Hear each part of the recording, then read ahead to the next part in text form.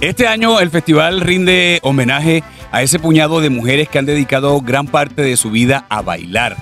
Ella es Enilda Leiva, Enilda Leiva y tiene ¿cuántos años Enilda, Enilda de estar bailando? Uy, yo tengo los mismos años que tiene Galera, tengo de estar bailando. O sea, usted empezó a bailar muy chiquitica. Muy pequeña, sí, señor. A mí me enseñaron así. ¿Y, y de quién heredó usted el gusto por, la, por el baile? Con mi mamá.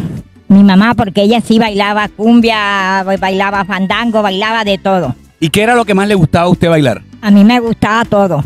Todo, todo. Porque ¿No, no hay un ritmo especial que le guste? yo, para mí, todos son iguales. Bueno, ¿y tenía un parejo?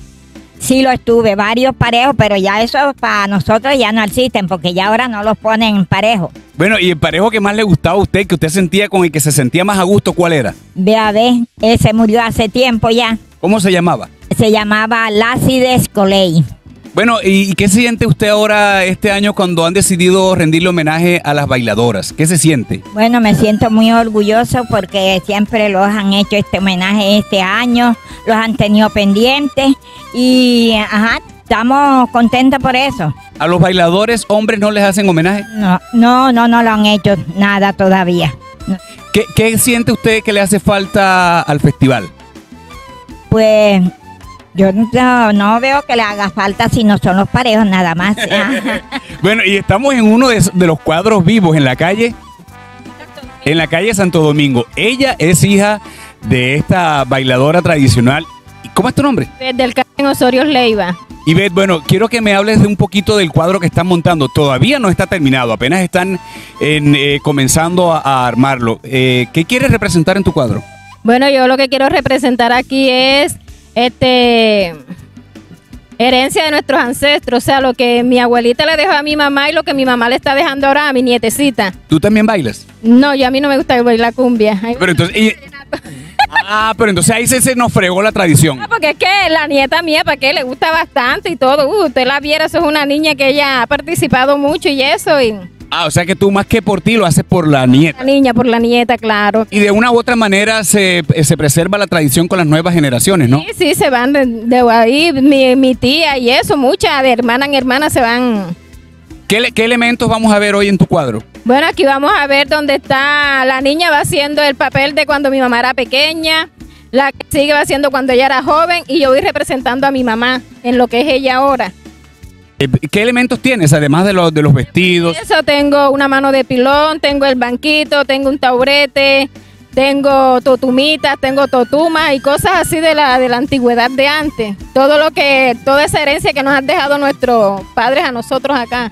Bueno, y como yo estoy con una bailadora, a mí me gustaría que usted me mostrara algo de lo que usted sabe. De a ver, para yo ahora cansarme también. Ah, vamos a Bueno, bailar. vamos, a, vamos a que le alcen el volumen a esto y bailamos. Eso, eso, eso. La falda se cae, pero, pero ahí vamos.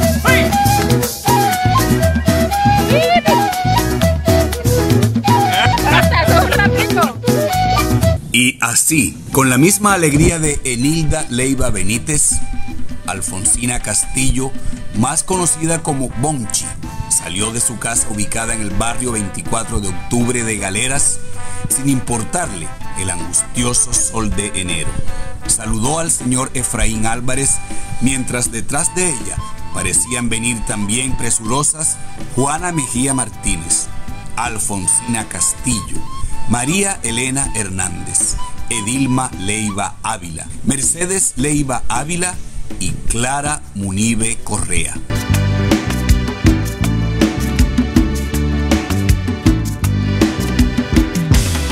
Toda ella era una colorida fiesta.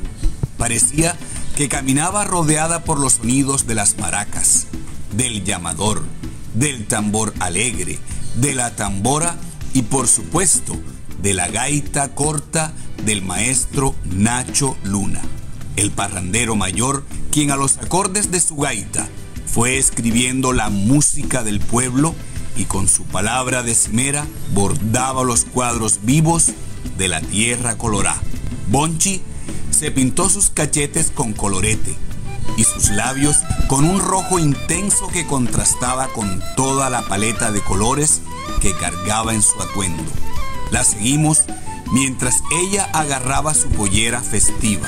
La canícula no parecía importarle y su corazón latía fuertemente emocionado ante la responsabilidad con su amado pueblo.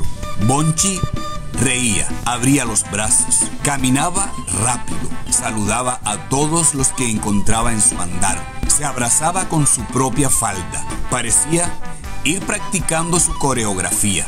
La calle y los interminables patios parecían rendirse a los pies de la entusiasta mujer.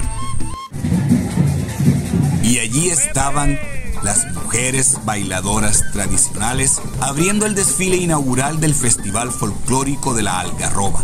Bailaban cual mariposas amarillas, revoloteando sobre los bonches veraneros. Nunca pude saber si la imperturbabilidad del pueblo apostado a lo largo de la calle era una muestra de respeto por sus mujeres, asombro o sencillamente las danzantes mariposas amarillas se fueron esperando el aplauso de todo un pueblo que les quedó adeudando el alimento de todo artista. Mi ovación va para ellas.